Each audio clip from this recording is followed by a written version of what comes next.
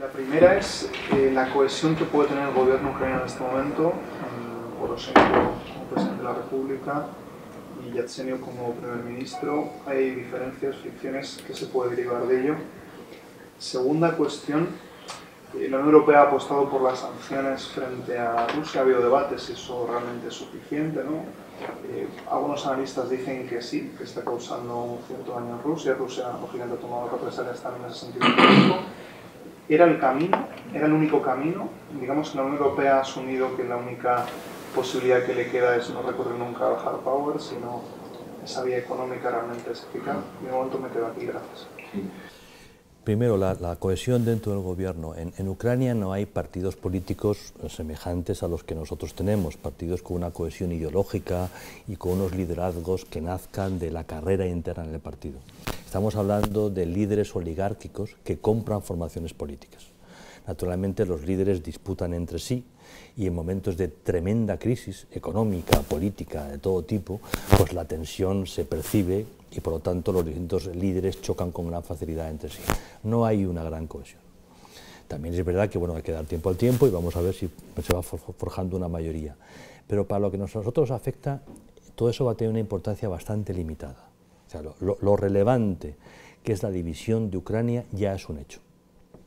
Por lo tanto, cuando hablamos del hard power, eh, tenemos que recordar que, eh, la, vida de los estados, como la vida de los individuos, está marcada por la administración del tiempo y que hay un momento para hacer cada cosa. Había un momento para usar el hard power, sobre todo en su efecto disuasorio. cuando estamos dando alas a Ucrania a acercarse y a la vista de cómo Rusia está funcionando, era el momento de firmar determinados acuerdos, de colocar eh, tropas en determinados sitios o sistemas de armas en determinados sitios. Es lo que llamamos la escenificación. Eh, la, la defensa tiene muchísimo de teatro y el teatro tiene que ser creíble.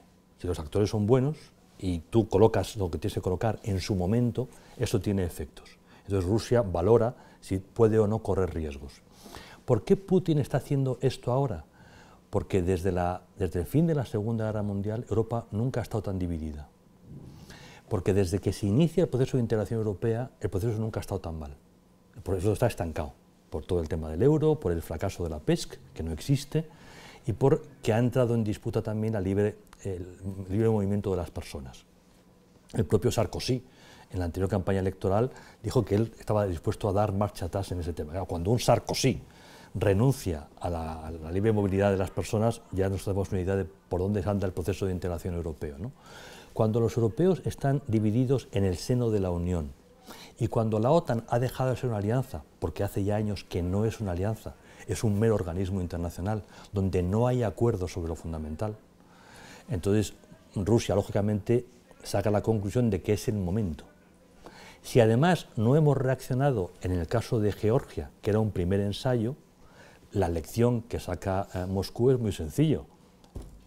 Podemos. Esto sí que podemos. Otros dicen que podemos y no tanto. Esto sí. Esto sí pueden porque ha salido gratis Georgia. No pasa nada. Ahora no sale gratis, y es verdad. Ahora hay un precio. Está el precio de las sanciones, que es evidentemente real. Pero los precios más duros llegan después. Uno es la credibilidad de los mercados el dinero desaparece, no desaparece, se retira de Rusia en grandes cantidades. La gente no quiere invertir en Rusia porque no sabe si va a haber nuevas sanciones que te afecten. Entonces, como el dinero es lógicamente cobarde, o sensato si prefiere, dice, mira, no es momento, vamos a dejar pasar el tiempo a ver si esto se, se encauza de nuevo, pero mientras tanto, paso atrás, se paralizan inversiones. Pero sobre todo, hay que recordar que Rusia es un país que solo tiene, es capaz de colocar un producto en el mercado, que es energía. Eh, el mercado de, la energía está cambiando mucho. Eh, y los europeos, básicamente los alemanes, que habían hecho una apuesta estratégica por entenderse con Rusia en ese tema, y también que estaban haciendo formidables inversiones para convertir Rusia en un mercado, en una economía medianamente eh, capaz, han tenido tarde y mal que rectificar ante el choque con los polacos y con los británicos sobre este tema.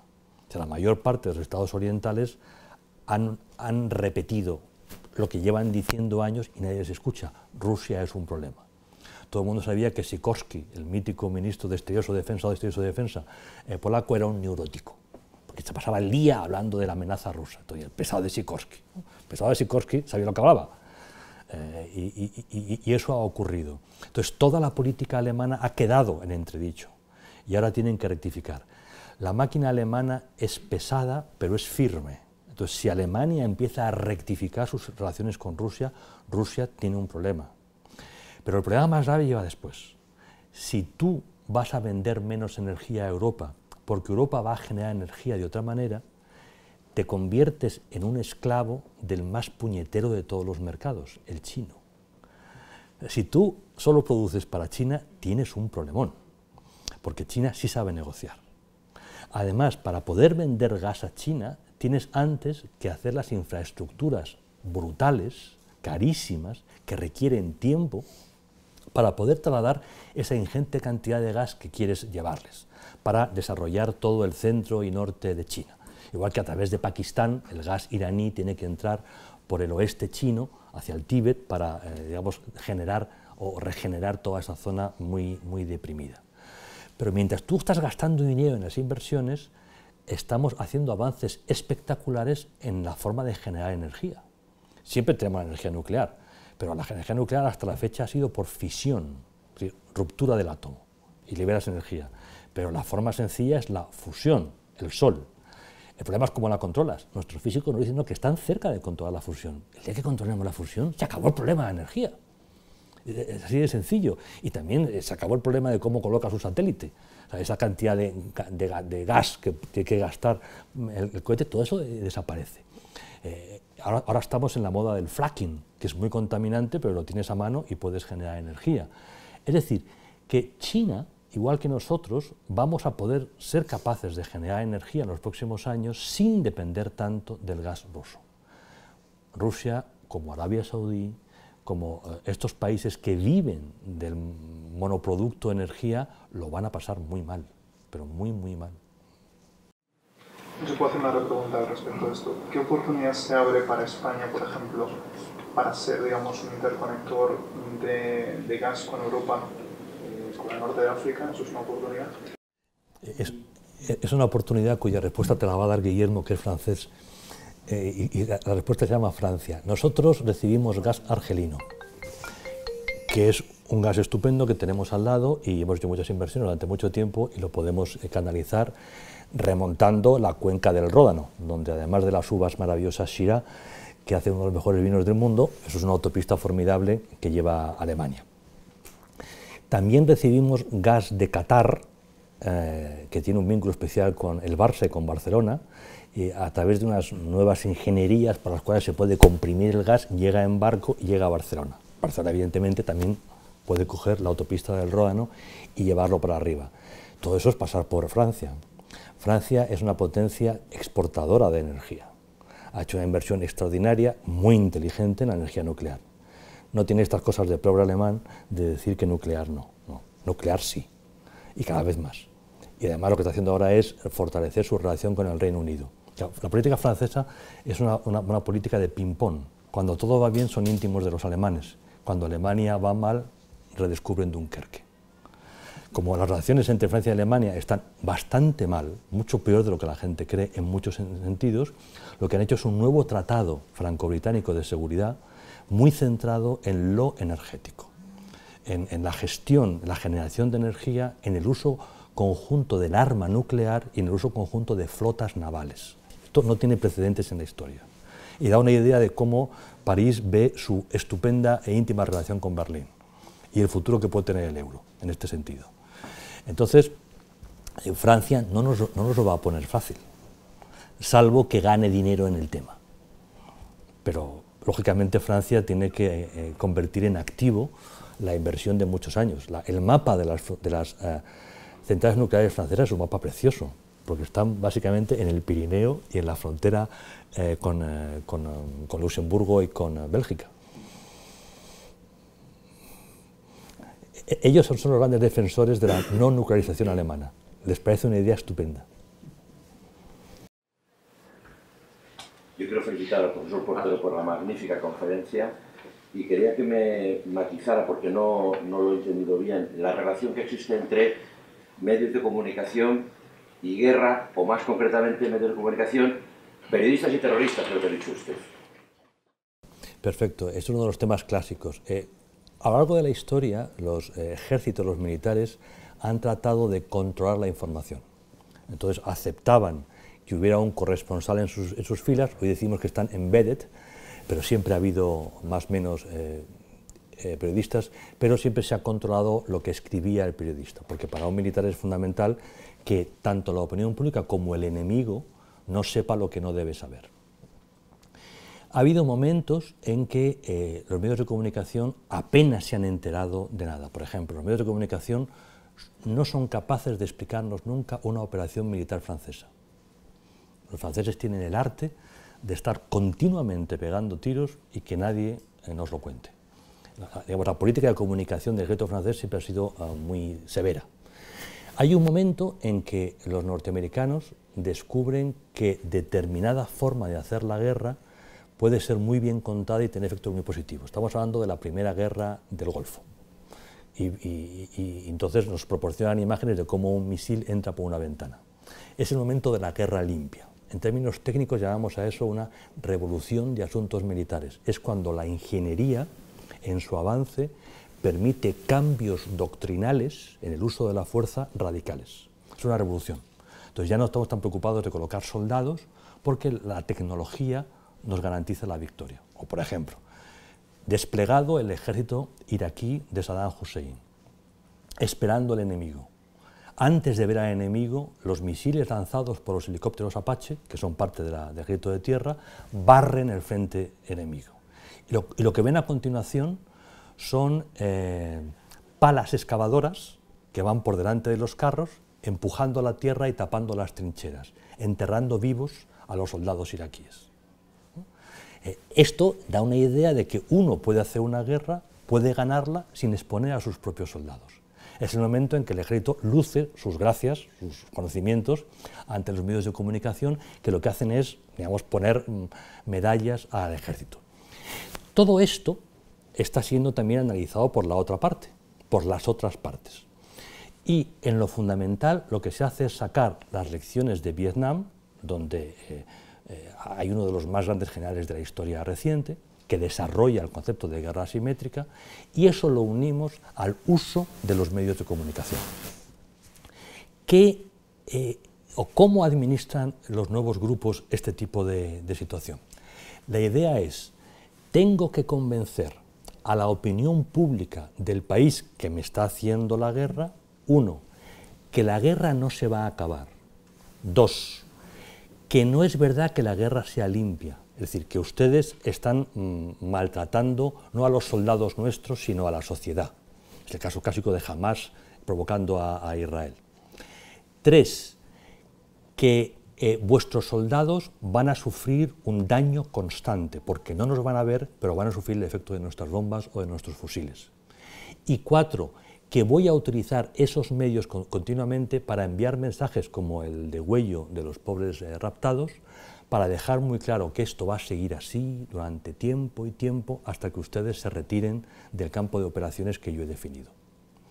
Como los medios de comunicación tienen la obligación de informar y como no pueden no hacerlo, sencillamente se convierten en el instrumento. En Afganistán, por ejemplo, ¿han intentado los talibán derrotar a las fuerzas aliadas? En ningún momento. ¿Han buscado la victoria? Siempre. ¿Cómo? En Vietnam aprendieron que la victoria estratégica no tiene nada que ver con la victoria táctica. Estados Unidos ganó todas las batallas en Vietnam y perdió la guerra. Los talibán no han ganado ninguna batalla en Afganistán y nos han derrotado, porque nos han derrotado. Naturalmente, esto no lo dice nadie. ¿eh? Hemos sido derrotados en Afganistán y hemos sido derrotados en Irak porque no tenemos constancia, no somos capaces de llegar hasta el final, porque nuestra opinión pública se cansa, y se cansa porque tiene una imagen de la realidad que les llega a través de los medios de comunicación. Y esos medios de comunicación son utilizados por las dos partes, porque el periodista lo que no puede hacer es dejar de contar. ¿Usted, profesor, eh, ve alguna relación entre medios de comunicación y propaganda terrorista? Sin duda, sin duda no estoy diciendo que el periodista esté jugando a eso, es distinto, el periodista tiene que informar, Y si pasa, algo, lo que no puedes no contarlo. Lo que ocurre es que estos grupos que llamamos terroristas, pero que no son solo terroristas, el término terrorista, dicho de otra forma, un acto puede ser terrorista y quien lo hace no necesariamente es solo terrorista. Cuando hablamos, por ejemplo, del Estado Islámico, el Estado Islámico eh, comete actos que son terroristas, sí. E, eso en proporción con el conjunto de sus actos, ¿cuánto es? ¿El 5%? ¿El 3%? ¿El 6%? La mayor parte de lo que hace es combate. El Estado Islámico eh, controla un territorio que debe ser tres o cuatro veces Holanda y controla ciudades, tiene administraciones, tiene financieros en Nueva York que han estudiado en Harvard y que son los que llevan las finanzas del Estado Islámico. El Estado Islámico vende petróleo, no es un, no es un grupito de, de por caso. tiene gente muy potente. El Estado Islámico está, ha estado hasta hace muy poquito, tiempo financiado por Arabia Saudí. Nuestros aliados saudíes, nuestros queridos reyes saudíes, son los que estaban pagando el Estado Islámico, como un ejército intermediario para contener a, a Irán en Irak. Entonces, e, evidentemente, estas digamos, organizaciones o estas milicias eh, saben controlar eh, su eh, política de marketing su política de imagen y colocan en el mercado de la información aquello que ellos quieren que llegue, qué duda cabe. E igualmente, como otros ejércitos, controlan e intentan evitar que lo que a ellos no les favorezca no salga. su, digamos, su comportamiento es igual que la de un Estado convencional porque jurídicamente no son estados, evidentemente, pero tienen ministro de Asuntos Exteriores, tienen ministro de Asuntos Internos, tienen ministro de Economía, tiene todo. Y tiene eh, formidables despachos en el mundo occidental que se ocupan de gestionar sus intereses. Formidables y buenísimos despachos de abogados, eh, formidables financieros educados en mejores universidades, están administrando su dinero. Parece ser que Putin ha intentado animar a Polonia absorber ciertos territorios del oeste de Ucrania que históricamente fueron polacos y que Polonia, dice, entre comillas, con muy buen criterio, ha resistido esa tentación. ¿Podría comentar sobre este tema? Si, si, volvemos a los mapas del siglo XVI, XVII y XVIII, lo que vemos es que las relaciones internacionales europeas de la zona se resuelven mediante conflictos y acuerdos entre pocos actores de referencia. Lo fundamental es entender que entre Rusia y Alemania, los dos actores de referencia, hay algunos otros que depende del tiempo son más o menos fuertes. Lituania fue muy importante, luego desapareció. Polonia ha habido momentos en que era fuerte y momentos en que era muy, muy pequeñita. Ahora Polonia es la garrapata que molesta a, a Moscú porque es dentro de los europeos el que está todo el día diciendo los rusos, los rusos, los rusos, y es quien ha arrinconado a la política alemana. No es casual que el presidente polaco haya sido nombrado presidente de la Unión Europea, es la forma de callarlo. Es un ascenso, es, un, es, una forma de, de, quitarle poder. Como presidente de la Unión Europea no puede decir casi nada relevante. Como presidente de Polonia sí. Sikorski ya no está. Eh, ha sido una operación hecha desde Bruselas para desarmar a la diplomacia polaca. Y les ha salido bien. El presidente polaco está encantado de ser presidente de la Unión, ya no manda nada, pero honoríficamente es muy importante. Para Rusia, el repartirse esos territorios es lo de toda la vida. Si Stalin lo hizo con, em, con Hitler, pero mucho antes los zares lo hacían con los kaisers. No tiene nada nuevo. Entonces, una forma de tratar de callar a Polonia, evidentemente, puede ser esta, igual que una forma de callar a Hungría, que tiene muchas razones para temer a Rusia, es el South Stream. Divide y vencerás. No hay nada nuevo. O sea, la política exterior rusa es profundamente zarista, profundamente. Igual que la están redescubriendo la Iglesia Ortodoxa y los valores históricos del nacionalismo ruso, están haciendo la política de toda la vida, que no tiene nada que ver con la Guerra Fría. La Guerra Fría es un paréntesis, una cosa muy excepcional que a mi generación nos perturba porque estamos demasiado eh, dentro de las categorías de la Guerra Fría. Hemos dedicado 30 años o 20 años a estudiar esas categorías. Ahora hay que volver a los días de Bismarck. Estamos como entonces, repartiendo territorios, fijando áreas de influencia. Rusia lo, lo, que nos está pidiendo es sencillamente que reconozcamos el concepto o el principio de área de influencia, que es totalmente ilegal pero tan útil, no es fácil. Muchísimas gracias, Florentino, por la conferencia y por las aportaciones posteriores. Tenía dos dudas y, y, algo distintas. En relación a los últimos dos incidentes comentados eh, provocados por Putin en el Báltico, el otro día leía un informe que creo que recordar se llamaba European Leadership Network, centrado, está en Londres, en que hablaba de, de esos dos incidentes, un incidente adicional considerado como muy grave, que era a un oficial. El rapto de un oficial. Pero lo enmarcaba dentro de una serie de incidentes, hablaba de 12 o 13 incidentes en el último año, que consideraba serios, con cierto riesgo de, de incluso ser un, elemento que vaya más allá de la mera diplomacia, y además eh, echaba de menos comunicación entre las fuerzas militares de ambos, de ambos bloques. Entonces, en ese informe se alertaba de, de, que no era, no era imposible que hubiese cierto conflicto armado en breve. Quería ponerlo para ver si, si lo podía comentar. Y, y, la otra pregunta o el otro comentario era que es que en todo este escenario me falta un actor, que no sé si por acción o omisión, Estados Unidos. efectivamente la administración Obama.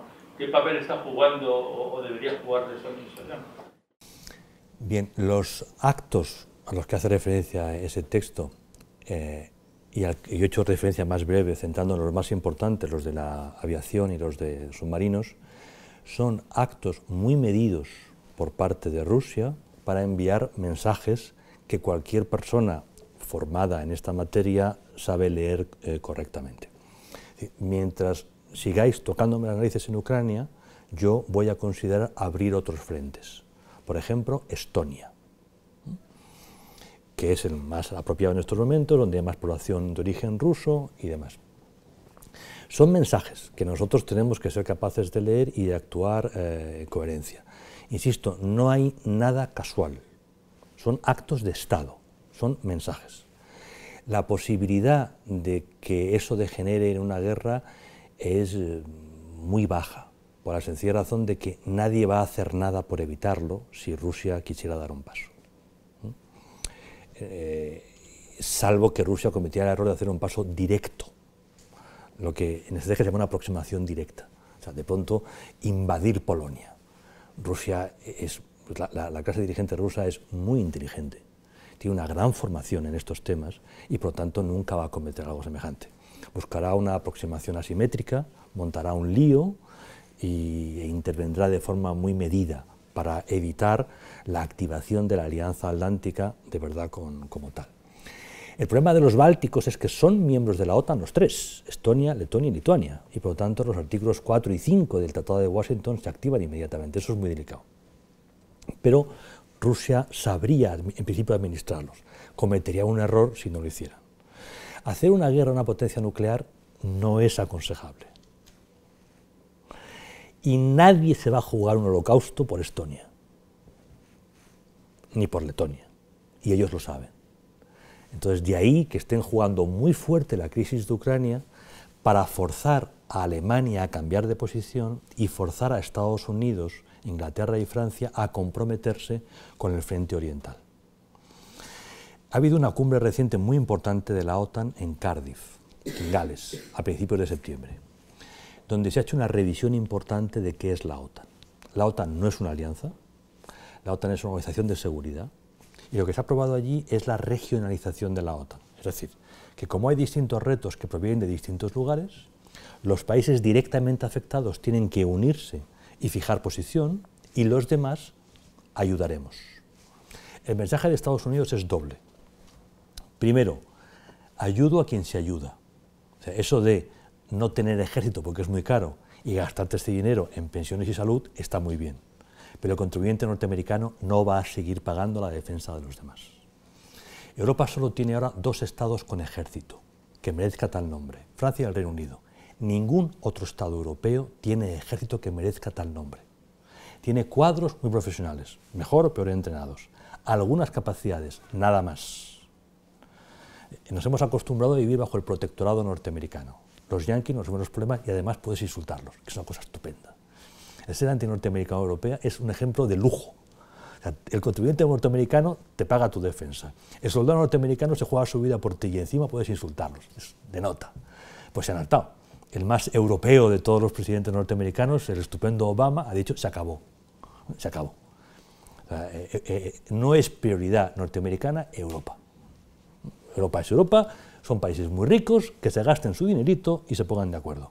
Y si se gastan su dinero, entonces nosotros ayudamos. Ayudamos a quien se ayuda. Estados Unidos colaborará en operaciones ya montadas por otros. Los franceses, que son los más capaces en este tema, han descubierto una oportunidad única. Los franceses han sido muy norteamericanos porque no querían aceptar el liderazgo norteamericano. Cuando Estados Unidos renuncia a su liderazgo, Obama, y está dispuesto a colaborar, los franceses dicen, por fin. Entonces, lo que hacen es pactar, país-país, no OTAN, no Unión Europea, bilateralismo clásico operaciones conjuntas allí donde los intereses de Francia están afectados. Magreb, Sahel. Hay que ir a Mali, hay que ir aquí o allá. Hablas con los norteamericanos que te proporcionan inteligencia, te, te pueden proporcionar apoyo logístico, te pueden proporcionar muchas cosas. Ellos no van a estar en primera línea, que es lo que no quieren hacer, están en demasiados sitios en primera línea, pero te van a dar una formidable ayuda. Pero tú tienes que llegar con el plan hecho. Hay un problema, esta es la naturaleza del problema, estos son los riesgos, estas son las respuestas. Entonces, ya podemos hablar. Porque además yo quiero ir y yo me, asumo una responsabilidad. Podemos hablar. Pero eso de que eh, llamamos a mamá otra vez después de insultarla y quejarnos de lo pesada que es para que nos suba los temas, no way, se acabó. Entonces, naturalmente, eso genera muchísima inquietud porque nadie puede asumir el liderazgo natural de la zona. Más aún cuando Alemania nunca sabes dónde está, si a un lado a otro, y segundo, cuando Alemania, como efecto, como consecuencia natural de la Segunda Guerra Mundial, sobre todo, es un país que ha renunciado al uso de la fuerza en política exterior. Tiene una diplomacia que, como la española de hoy, se confunde con el comercio. Básicamente, es un país cuyo bienestar se fundamenta en vender ingenierías caras. Es muy complicado mantener un estado de bienestar vendiendo cosas caras, buenas, pero caras. Pero toda diplomacia norteamericana es cómo consigo vender Mercedes en China, BMWs en Moscú y sistemas sofisticados Siemens en cualquier parte del mundo. Entonces necesita entenderse con Moscú para que siga comprando, necesita eh, eh, eh, entenderse con China, lo que para el resto de la Unión Europea es un problema porque China es un problema.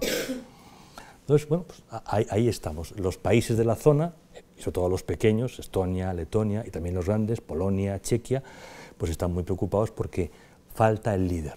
El Reino Unido, como siempre, ha ido en su ayuda, pero el Reino Unido está pasando los peores momentos desde la Segunda Guerra Mundial. No es un país que pueda asumir liderazgo.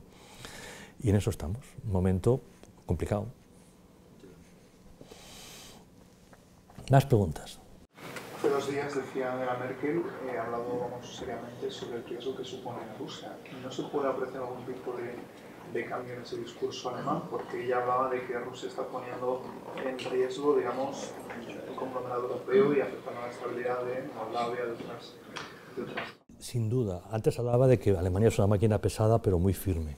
Alemania hizo una gran apuesta por Rusia en una idea que, que tiene sentido. Eh, eh, eh, los demás lo que te decían en la etapa anterior, porque ahora, Rusia tiene una cierta estabilidad, antes no la tenía tanta.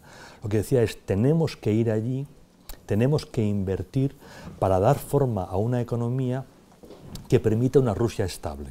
Porque lo que más nos preocupa es una Rusia inestable. Y es verdad, esa visión alemana está bien fundada, no es ninguna tontería. El problema es que para hacer eso, tú te, te involucras en sus temas y te conviertes en dependiente. Todos sabemos que si tú eh, tienes una hipoteca pequeña y no la pagas, el banco va contra ti. Pero si tú le debes al banco mil millones, el banco se arrodillará ante ti y harás con él muchas cosas. ¿no? Pues esto es lo mismo. O sea, Alemania depende demasiado de Rusia como para de pronto decir, ah, voy y te castigo. No puede hacerlo. Alemania ha hecho una apuesta importante. Angela Merkel ha intentado dar tiempo a Putin a revisar posición y como ve que no solamente no rectifica, sino que continúa, entonces la posición alemana se mueve y eso va a tener consecuencias a largo plazo.